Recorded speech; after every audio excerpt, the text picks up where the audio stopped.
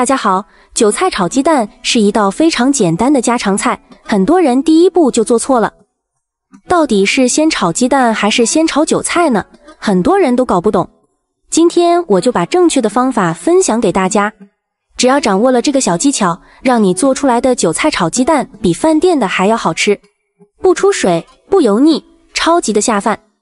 首先准备五毛钱一把的韭菜，把韭菜表面的坏叶子给它摘下来，不要。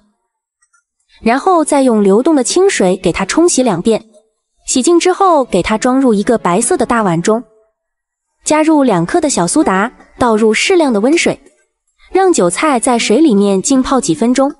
小苏打的去污能力很强，同时它还可以去掉韭菜表面的农药残留。关键还有一个作用就是炒出来的韭菜颜色更加的翠绿鲜亮。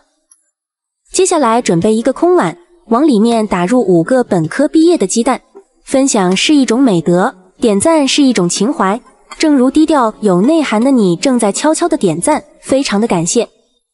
加入一百八十八粒白色的食盐，少许胡椒粉，用我陪嫁的筷子顺着一个方向给它搅拌均匀。五分钟之后，我们的韭菜也泡好了，把它清洗一下，控干表面的水分。放在菜板上，用刀切掉韭菜的老根，不要老根吃起来涩牙，口感也不好。再把韭菜切成零点三毫米的小段，不要切得太长，也不要切得太短。切完之后装入大碗中，再准备几颗自家种的小葱，用我家的刀给它切成小葱花。下面准备一口不粘锅，倒入少许的食用油，油温微热，倒入韭菜。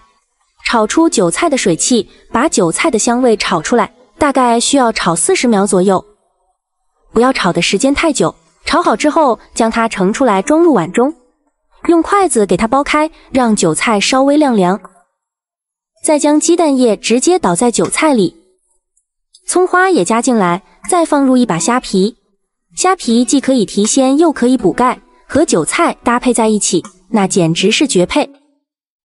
另起一口锅。倒入一勺食用油，开中火把油温烧热，然后将韭菜和鸡蛋液慢慢的倒入锅中。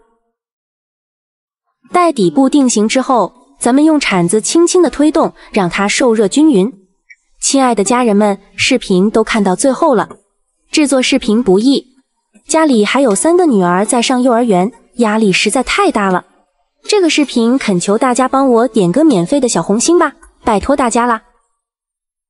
煎到两面熟透之后，用铲子将大块切成小块，最后加点盐、胡椒粉、鸡精、生抽调味即可。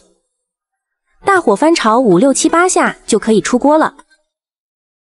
一份非常好吃的韭菜炒鸡蛋就做好了。鸡蛋包裹着韭菜，咬上一口，有鸡蛋的嫩滑，还有韭菜的鲜香，那口感吃起来别提有多香了。家里有韭菜鸡蛋的朋友，一定要试试这个做法。保证让你吃上一次就会对它念念不忘。如果你也喜欢的话，就收藏起来，在家试试吧。